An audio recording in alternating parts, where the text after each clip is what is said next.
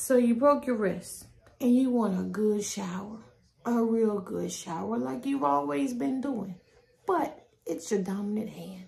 Well, here is the solution and I got it off of Amazon. I'm gonna leave the link in the description box.